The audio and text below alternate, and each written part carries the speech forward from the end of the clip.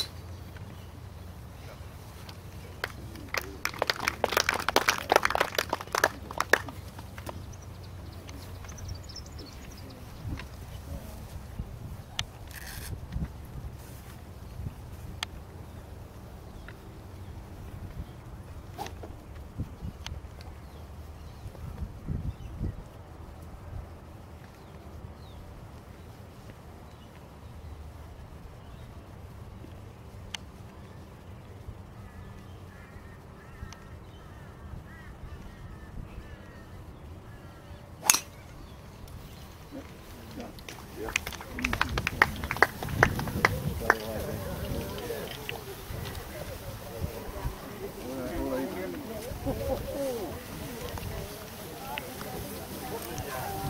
thought they said they'd be